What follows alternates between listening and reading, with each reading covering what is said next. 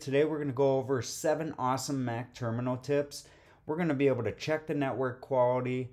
We're going to be able to run software updates. We're going to gather Mac security and Mac hardware info. We're going to take a look at the CPU and disk usage. I'm going to show you how to show a calendar. We're going to take a look at our logins and reboot data. And then we're going to run an email from the command line. Let's dive in. All right, so let's open up the terminal by doing Command Spacebar to initiate Spotlight and type in terminal and hit return. Command plus to blow this window up. All right, the first command I'm gonna show you is network quality. So just type in network quality and hit return.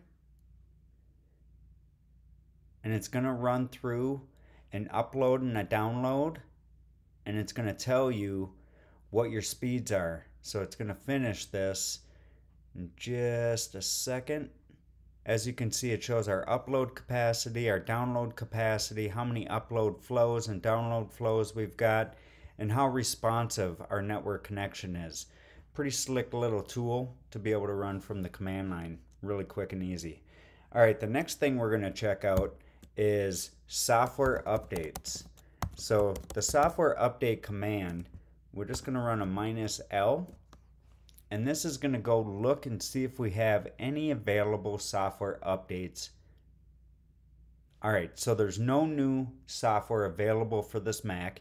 If there was, what I can do is write software update minus IA and a capital R. The I stands for install. The A is for all software updates that are available in the list. And the capital R stands for reboot. So if any of the updates require a reboot. All right, so now let's take a look at some Mac security and Mac hardware information that's super easy to gather. We're going to type in sudo because it requires elevated access. And then we're going to have to type out the long form uh, URL to this uh, command mdm client is the command. And I'm gonna do query security info. And I'm gonna hit return. It's gonna ask me for a password. And it's gonna gather all the security info on this device. This line tells me that I'm able to log into the device this is going to be enabled if I were tied to a, a, mobile device management server. This next line item, you absolutely need that to be a 1 so that you can approve the kernel extensions. You also need this to be a 1 so that you can run software updates. If we take a look at this line right here, FDE enabled, that is your file vault disk encryption. It's not enabled. If I want to enable it, I can open up system preferences go over to security and privacy, click on File Vault, and I can click Turn on File Vault. Please note that if you lose your login password and your recovery key, you're not accessing this data. So make sure that you write those down if you enable this. The other thing to note is that when you enable File Vault on your system, when you first boot up your Mac, you get to what's called the pre-boot file vault window. That's going to ask you for your password.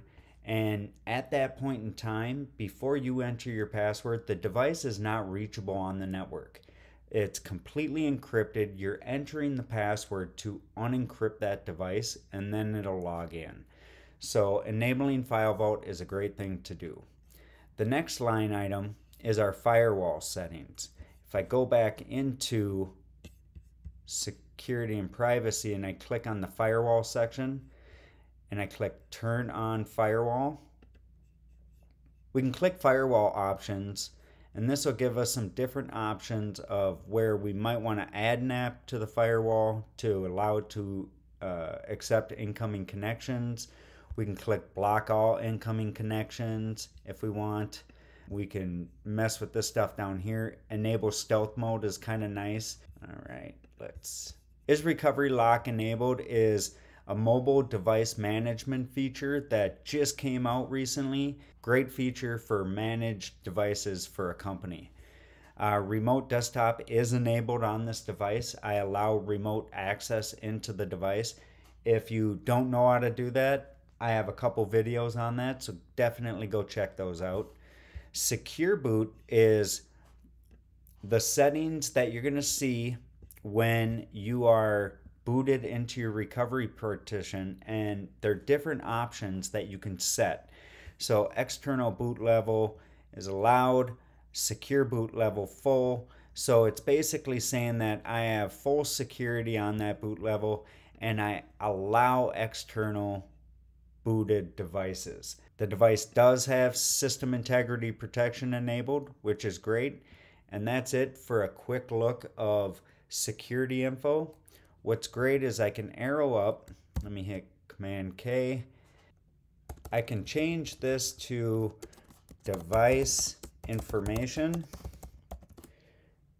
and it's going to pull up all the information about this Mac, all sorts of information. So you can look at pretty much everything and figure out exactly all the info you need to about your device. The next command we're going to use is going to take a look at the disk usage and CPU usage. So let's run iostat and you're going to be able to see that the disk usage is going to be on this side over here.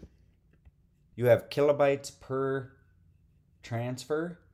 Then you have transfers per second.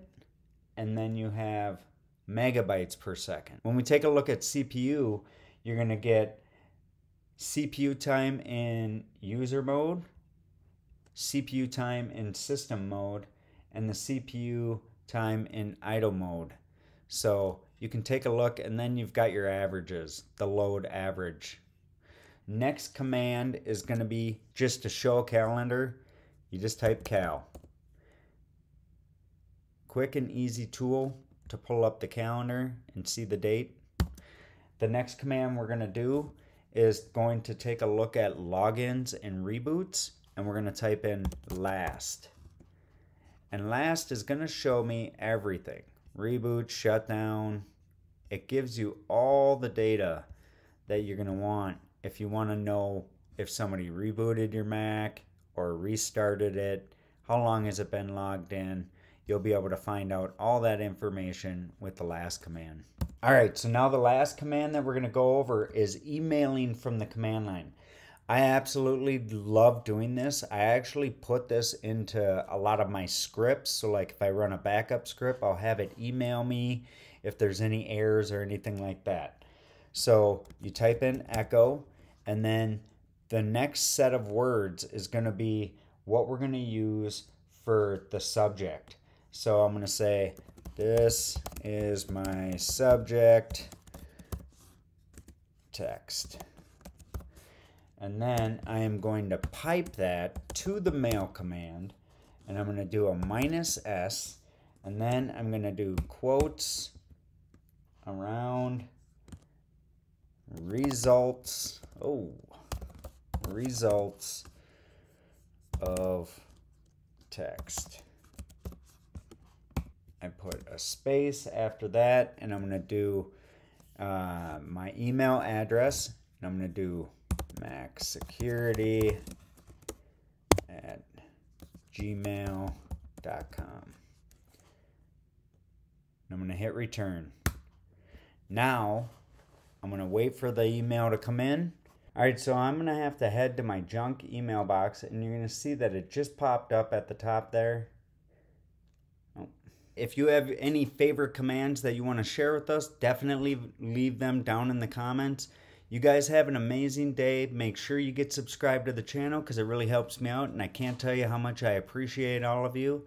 And you guys have an amazing day. Take care. I'll see you in the next video.